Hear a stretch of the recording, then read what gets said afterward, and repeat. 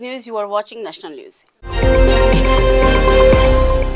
India strongly criticized Pakistan at the United Nations General Assembly, accusing it of being involved in terrorist activities worldwide. India emphasized that Pakistan must understand that a cross-border terrorism against India will have consequences.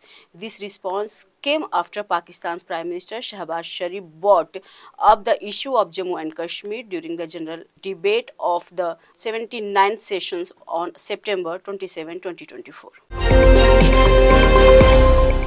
At least four security personnel and a traffic police officer were injured in a gun battle with terrorists in Kulgam district, Jammu and Kashmir on Saturday, September 28, 2024. The clash started in Adigam village during search operation by security forces. Traffic officer Mumtaz Ali was slightly hurt by a stray bullet near the site. The injured personnel were part of the anti-terror operation.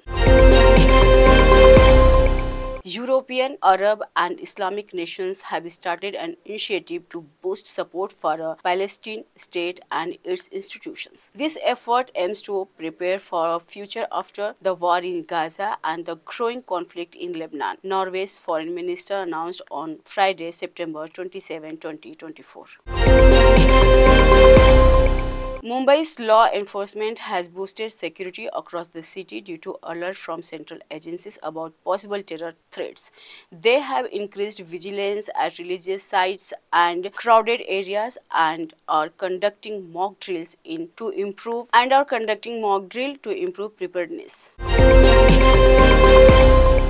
Former US President Donald Trump, who is the Republican presidential candidate, said on Friday he will seek the prosecution of Google if he wins the November 5 election, claiming that the company only displays bad stories about him. Thanks for watching. Keep watching HyBiz News.